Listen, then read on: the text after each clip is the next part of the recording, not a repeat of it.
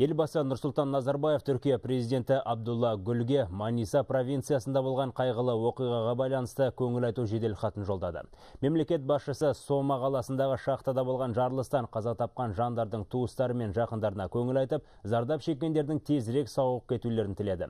Айта кетейік, қазір оқиға Қайғылы оқиға салдарынан көз жұмғандардың саны 238-ге жетіп отыр. Тағы 100-ден астамы жер астында қалып отыр. Әзірге олардың жағдайы беймәлім. 80 адамға ауруханада көмек көрсетіліп жатыр. Ал соңғы түскен мәліметтерге сүйенсек, Түркия билігі осыдан 3 апта бұрын Сома қаласының маңындағы шахталарды тексеру керек деген өтінішті қабылдамаған.